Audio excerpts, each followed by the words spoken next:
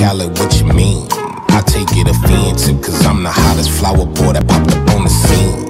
Feeling better, better than ever, cause you're